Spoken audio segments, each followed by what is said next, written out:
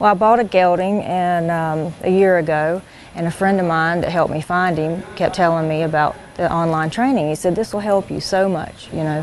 So you know how you get busy and you just forget about it. And um, a friend of mine was hospitalized, and I can't sit still five minutes. So I had my iPad, and then I was like, oh wait a minute, I can go back and watch those videos. So for two or three, four hours a day, I was watching video after video after video, and just you know, like I said, immerse myself into it, and it really has helped me a lot.